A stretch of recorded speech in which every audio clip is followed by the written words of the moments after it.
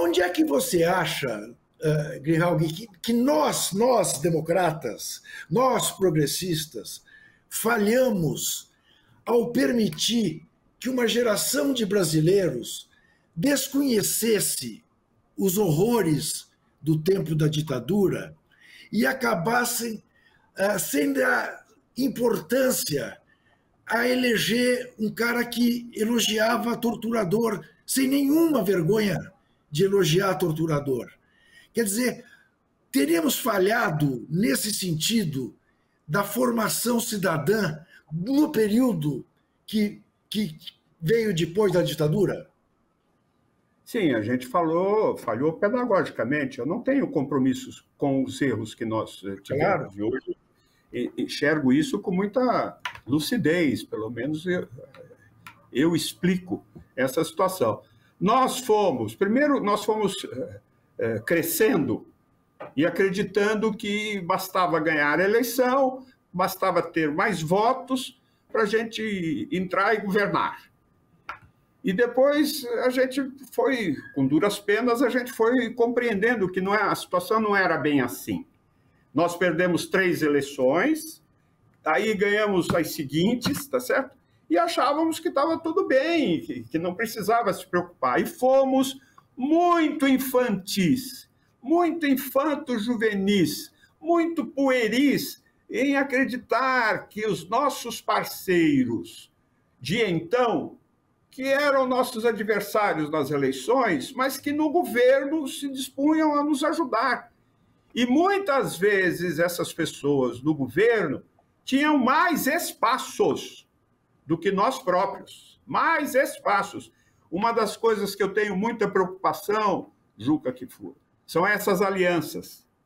Eu não, eu sou aliancista, eu gosto de fazer aliança. No CBA eu fiz aliança com todo mundo. Era da executiva nacional do, do, do Comitê de Anistia, o Joaquinzão, conhecido como né, um sindicalista é, amarelo, né? mas é, ele entrou no CBA, ele ajudou a fazer a luta pela anistia, sob o programa do Comitê Brasileiro de Anistia.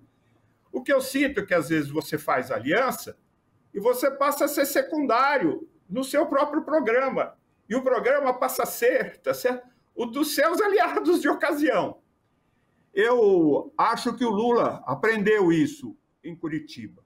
E eu espero que ele não esqueça disso. Porque nesses 580 dias que a gente viveu juntos, muitas vezes ele levantava de manhã irritado e falava para mim: O que, que eu estou fazendo aqui? Hoje eu levantei e olhei essa cela aqui, o que, que eu estou fazendo aqui? Me explica até que chegava eh, da vigília, um bom dia, um boa tarde, presidente Lula, um boa noite, presidente Lula. Num dia que ele estava estourado, Juca, lá, nervoso, ele fez essa pergunta e, e houve a coincidência de, em seguida, a vigília dizer para ele bom dia. E eu peguei o gancho, rapidamente falei: Lula, você está preso por causa deles por quem está lá fora, passando dificuldades. É, é, chuva, é sol, é barraca, é falta de alimentos, é improvisação, mas essas pessoas estão aqui com você. É por causa do povo brasileiro que você está preso. Aí ele sossegou um pouco. Passou, passou um, dois dias, né? ele voltou e falou para mim: ah, sabe o que eu tive pensando? Quando eu sair daqui, eu não vou para casa. Eu vou atravessar esse pátio aqui, eu vou lá na vigília agradecer. E vou dizer para você: se o povo brasileiro me der mais uma chance, é para esse povo que eu vou governar. Então, eu acho que está fazendo alianças no Congresso, ah, né? Ah, o Pacheco, o Arthur, tudo bem, isso não tem problema. Agora, não se esqueça para quem você tem que priorizar o seu governo.